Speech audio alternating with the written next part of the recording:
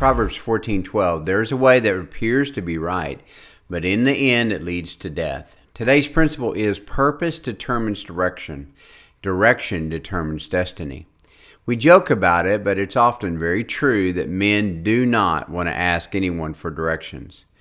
Now that we have GPS systems and maps built within our cars so that we can avoid the embarrassing gas station question, how do I get there from here?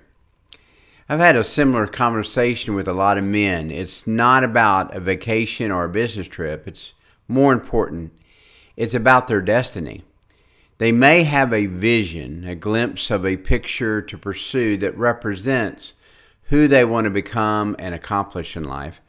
However, very few men are smart enough to ask for directions. We need to be smart. We should read biographies of men who've paved the way before us. We need to seek out direction from those who are well ahead of us.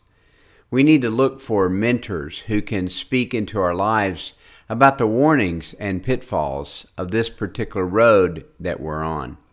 So remember, the road less traveled is often not as smooth as we like, but the views will be amazing.